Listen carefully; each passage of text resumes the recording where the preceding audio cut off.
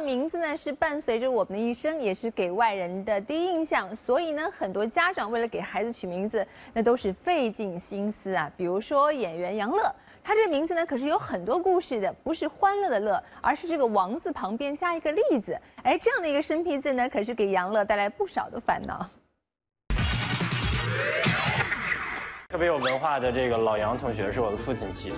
杨乐的这个“乐”字来自于词语“坚乐”，最早见于汉代司马相如的《子虚赋》，意思是似玉的坚实，寓意倒也蛮好的，也和一般读音“乐”的字区别开来。可见杨老师取名字是相当的用心的，但就是给小杨同学带来了不少困扰呢。杨公、杨勒、杨丽、杨王丽、杨王丽、杨王丽。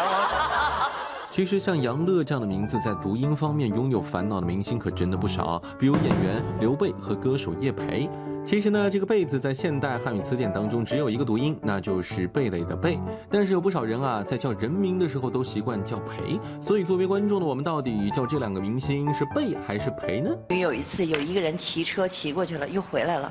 问我说：“哎，你那字儿，你到底念贝呀还是培呀？”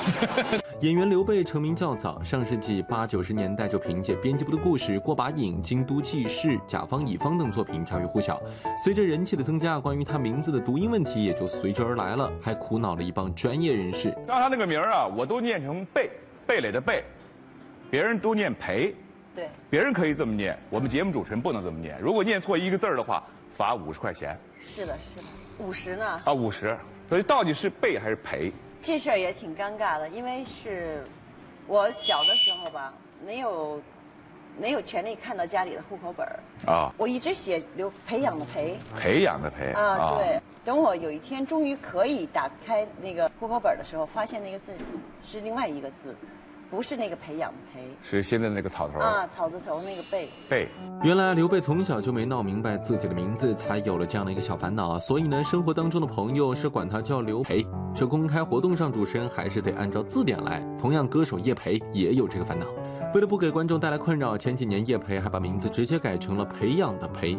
比起这两个名字读音方面的烦恼，演员热依扎则是因为名字当中很少用作人名的扎字，引起了不少的尴尬的事儿。因为曾经就有杂志把他的扎字写成了亚字，经常会写对热扎衣，我没想到杂志上会写错。没关系，我的名字这么多年了，很少人写对。对，我知道，我听说过，经常写那个。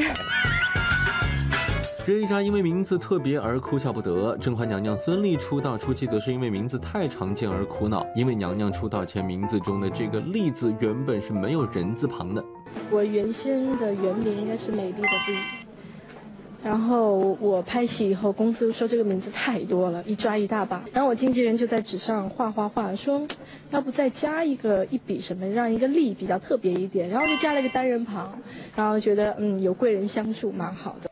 果然，孙俪出道没几天就遇到了知名作家海岩，凭借电视剧《玉观音》一炮而红。说起明星的名字，杨幂就不得不提啊，因为其实“幂”这个字很少用到人名当中，而杨幂之所以会取这个名字，原因倒也非常的简单。它这个“幂”是一个几次方的意思吗？是，因为我们三次方。因为我你为什么不叫杨？我妈杨三次。对，都是杨，不能叫杨杨杨。娱乐新天地，综合报道。